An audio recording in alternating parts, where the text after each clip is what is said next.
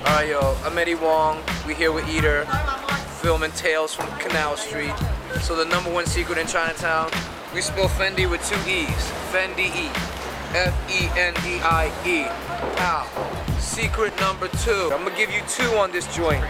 First one, Tungu Co. Alright, they got homemade tofu here every day. They just lift up this garage door. You get sweet tofu soup in there.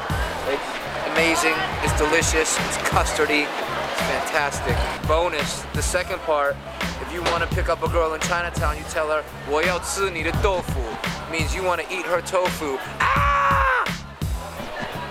Alright, yo. Tales from Canal Street. Hit number three. This is my favorite hangover food. I wake up. I used to live on Orchard and Canal, and then I lived on Delancey and Norfolk.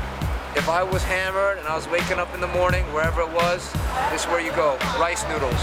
This cart right here on Grand and Bowery, across from Quickly.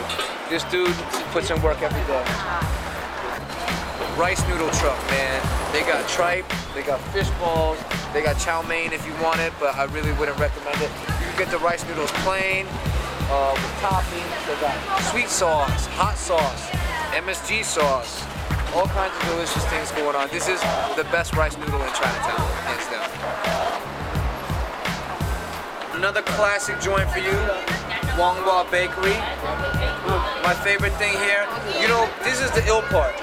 I've come here where I've woken up on like Saturday at like 2 p.m., come over, eat sticky rice for breakfast.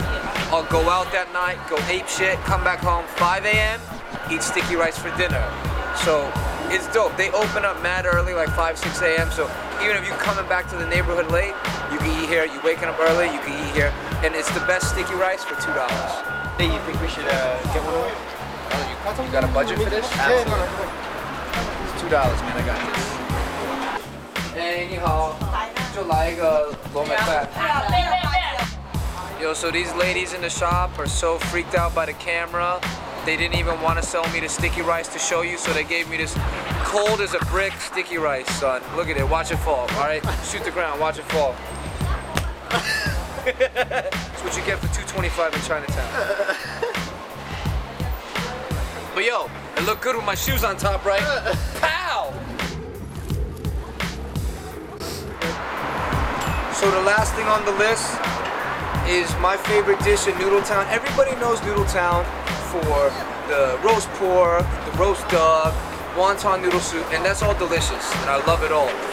But my boy Chris Jackson turned me on to the best dish there, the oyster and sausage casserole. Bar none, that's the motherfucking joint. So if you go there, even if it's just two of you or three of you, each you get, you know, your wonton noodle soup or roast pork or roast duck in it, and then share the oyster sausage casserole.